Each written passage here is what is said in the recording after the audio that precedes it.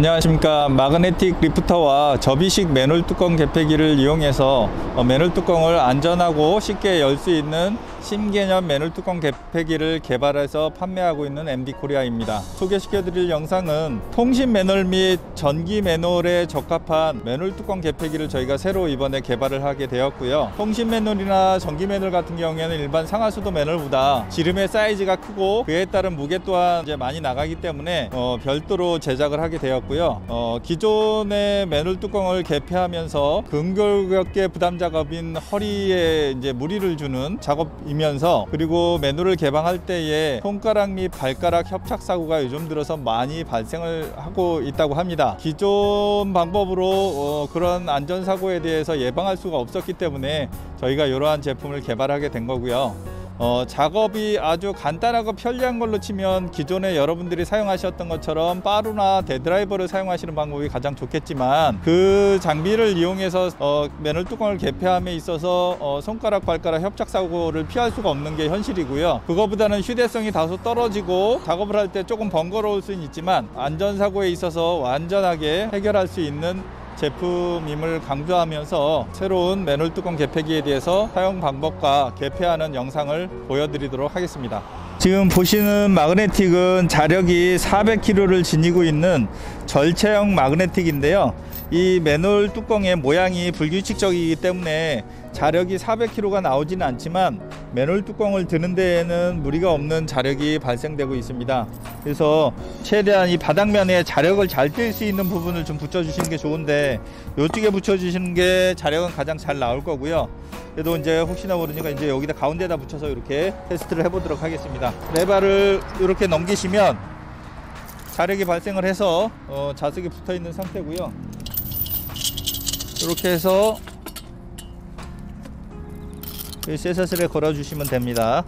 후크를 당긴 상태에서 레바를 당기시면 이렇게 딱딱 걸리는 위치가 있고요. 여기서 전체를 들어보도록 하겠습니다. 자 이렇게 해서 이렇게 이쪽으로 나서 맨홀을 이제 열 수가 있고요. 그 다음에 다시 닫을 때도 이렇게 해서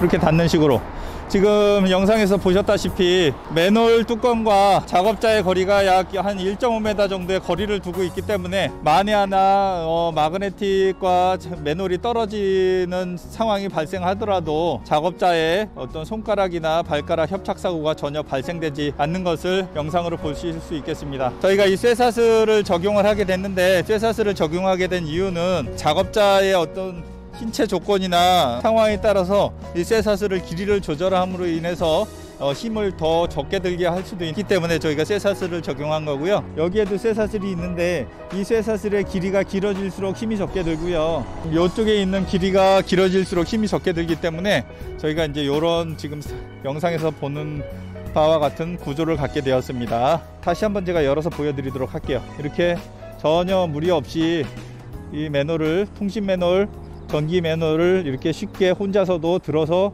열 수가 있고 또한 닫을 수가 있는 게 저희 제품의 장점이라고 보시면 되겠습니다.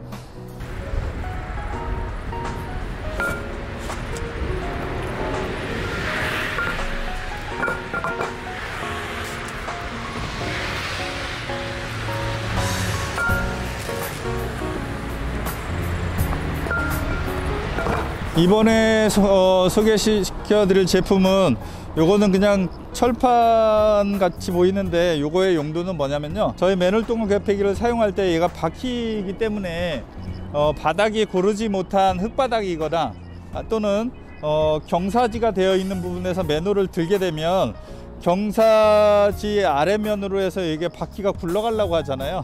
어, 경사진 곳에 있는 맨홀 뚜껑을 개폐할 때이 받침을 이용하면 요 맨홀 뚜껑 개폐기가 아래쪽으로 흘러내려가지 않고 사용할 수 있습니다.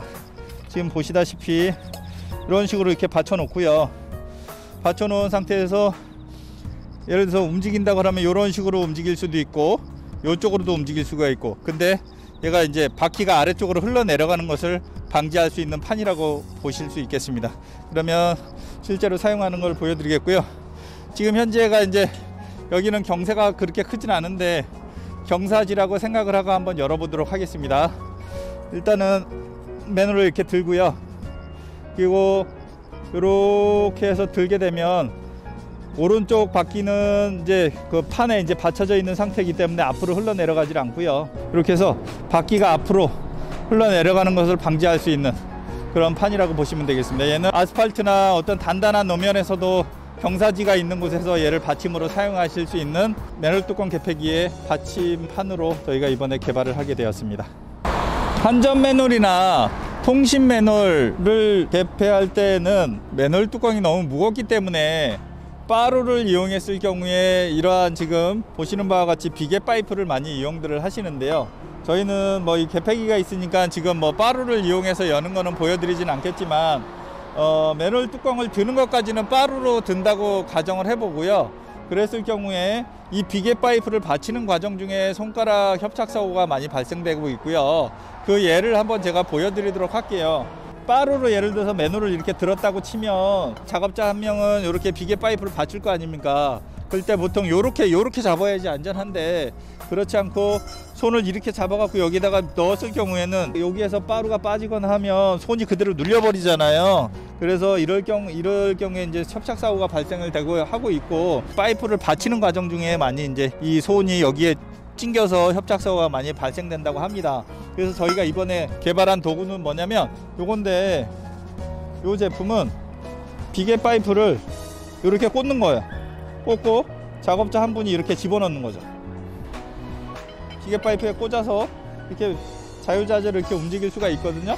이렇게 꽂아서 여기에다 이렇게 안전하게 밀어 넣을 수 있는 이런 공구입니다. 이렇게 빼시고 그 다음에 나중에 제거할 때도 이런 식으로 뺄 수 있는 이곳에 손이 닿지 않고 이 파이프를 안전하게 넣고 뺄 수 있는 이러한 도구입니다.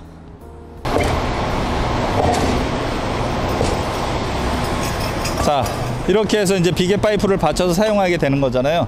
근데 어, 이 후크고리는 이제 제가 저희가 마이 저희 magnetic을 사용했을 경우에 이제 적용하려고 저거 만들어 놓은 건데 이건 어떤 용도로도 사용할 수가 있냐면요. 보다시피 여기 고리를 걸어서